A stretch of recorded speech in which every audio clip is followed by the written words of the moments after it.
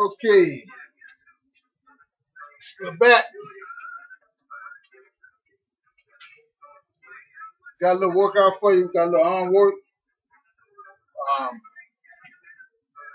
I put it to this like everybody that if you're a fighter, you're doing weight training for getting an arm work as well as heavy bag, there's a certain amount you got to do. You can't do three here and three here, three here and three here.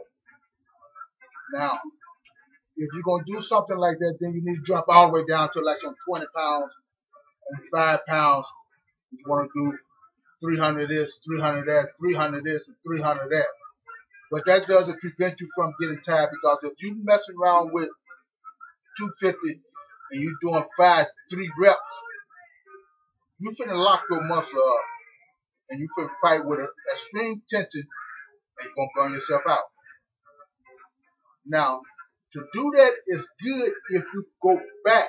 If you're doing 250, then you drop all the way down to 200 and do a 100 rep at the end of that, that, in that entire workout, you do 100 reps or even 50 reps. You're good. But if you're going to do only uh, five sets of threes with 250 and you're a fighter, you messing yourself up. You got to do more. You got to do more reps or you're going to burn out your arm. You're going to build your mind up to, to operate on tension only. You need to always be fluent as a fighter. You never want to train in a way where you're going, ugh, ugh, ugh, oh. No, you want to always be fluent. Same thing with your kick. You want to be fluent with it. Constantly relax. Bam, bam, bam, bam. The more relaxed you are, the more dangerous you are because your power, whatever you hit the man with, it goes through the man. Let me say that again. Whatever you hit the man with, go through with it when you relax. If your tension, it push the man. Your force push the man. It doesn't hurt him. He fall back, he come right back. And because you're not getting your feet or your hand off the man fast enough, so it does not work. Okay, let's get started. Follow along with me. Well, I am the one and only Anthony James Glasper Senior. You got a 75 pound dumbbell here. We're gonna do a few curls. Starting off on the left. Making sure the bar is centered at my hand properly. If it's too much to one side or the other, I'm gonna have a problem once I start. 75 pounds. One of the old schools.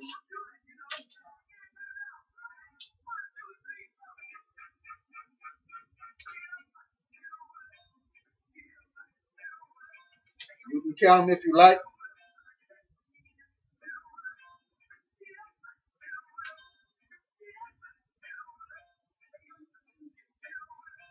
Now I count, I count to myself because the 75 is no joke. So uh, I need all my concentration. So you won't be hearing me count out loud.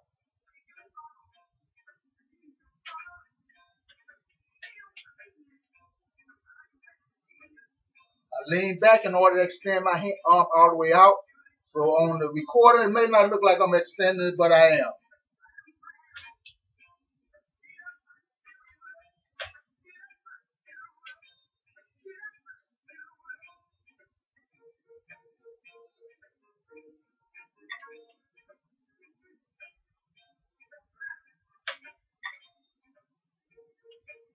I never know which hand I'm gonna be able to do the most on until once I get started because sometimes I did something not realizing I'm going one arm out more than the other.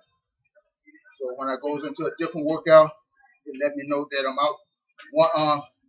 Needs to do a little more work to catch up with the other arm. Because I got one point out arm, one arm that's stretch. Shouldn't be both arms should be at the same. All right.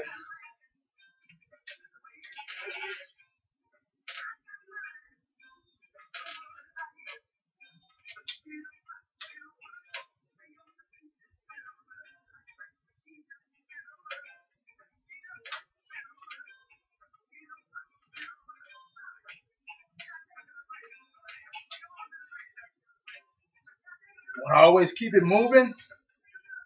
Keep it moving. If, otherwise, you ain't gonna get a workout.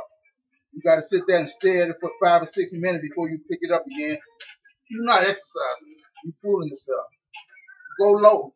Get lighter weights. I've had this 75 pounder since I was 13 years old. Of course, no, I couldn't pick it up with one hand, but I could do it with two hands together. By the time I turned 16, I could do it with one hand. I couldn't get about two or three in where I could, I could work with it. And this is what I used to develop straight punching as a teenager. Imagine a 15 year old training one hand with 75 pounds, hitting another 15 year old in the body. It wasn't nice back in those days. It wasn't nice. But I went to win. I went to win. And I had to be the best.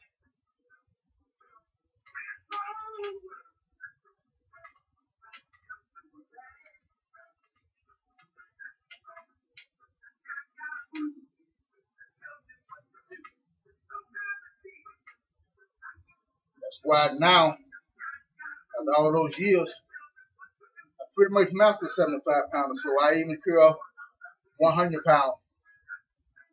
Go to my page on YouTube, you'll see it, you'll find it in there.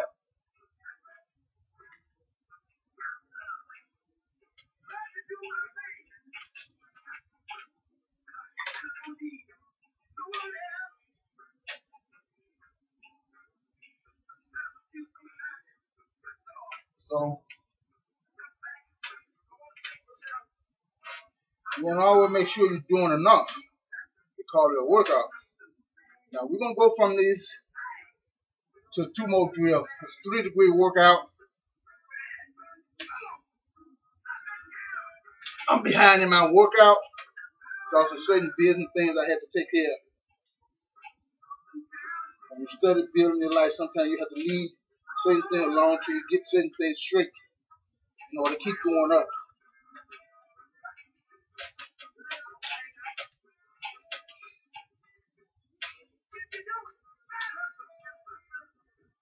Headed towards closing because we got two more drills, arm um, drill we want to do. Stay with me.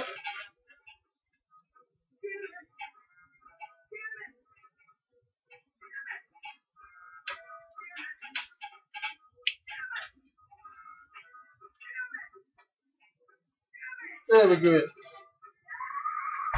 I mean, I did. I have no idea. You won't have to go. Okay.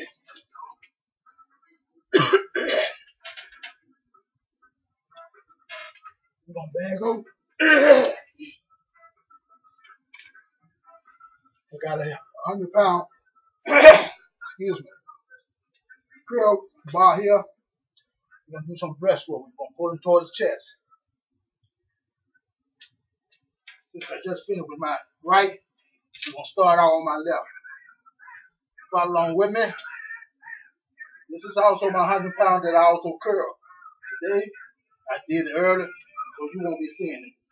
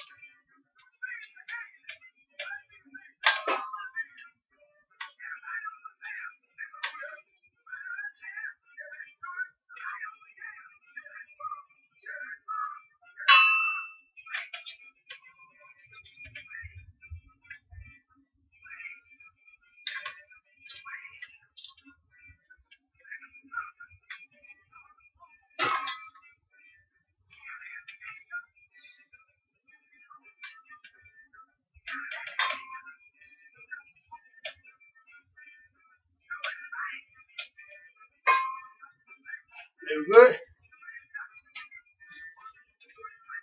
Now I'm going to drop all the way down to 20. Now, curling heavy, 75, my first degree muscle, my second degree muscle. It's not going to get into work. Only my six and my seven degree muscle going to get work from that 75 pounder and that 100 pounder. But what about the other muscle? They must get work.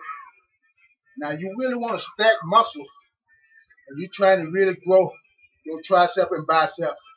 You got to do the smaller. You got to do the smaller. Or your first, second, and third, fourth muscle will be like iliform muscles. It will be out of shape. So whenever you try to compete with a guy that's curling 20, you couldn't keep up because your smaller muscle is out of shape. Condition all the muscle.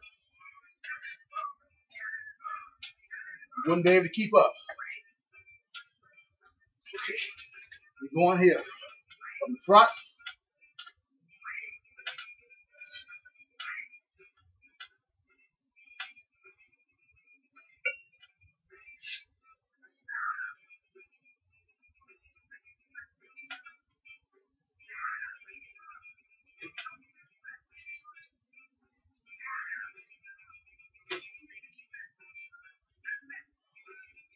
Very good. You want to push. As long as you got your oxygen up, you inhale, you just continue to see the weight coming up.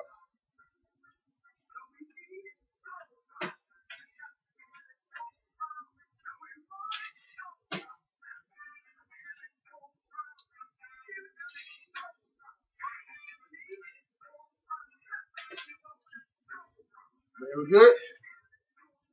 You're working at first, second, and third degree muscles. Now, when you get to the point where you can't hardly get them up, your seven degree muscle gonna kick back in. I'm gonna start lifting for you because your smaller muscle burnt out. Let's go.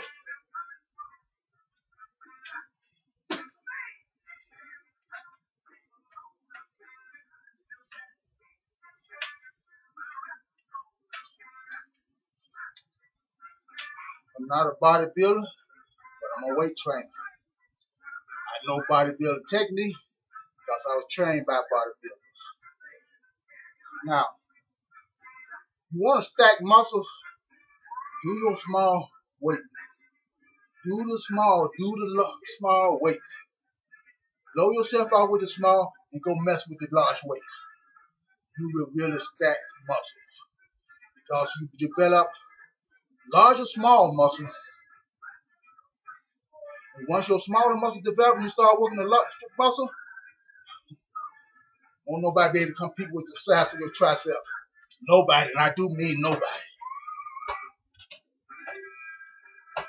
Do I do muscle stacking? No.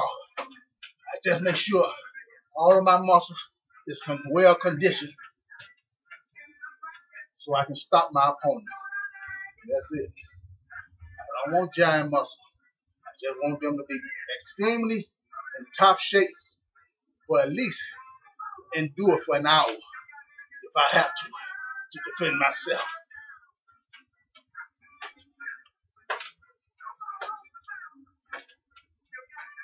And yes, I did say an hour.